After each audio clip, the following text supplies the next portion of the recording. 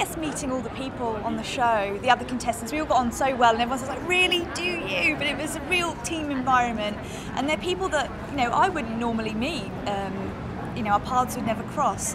So it was, it was a really lovely experience, and hopefully I'll stay friends with some of those contestants, you know, for a long time. Now, do you think you'll keep dancing? I would love to keep dancing. I am rubbish, like there's no doubt about it.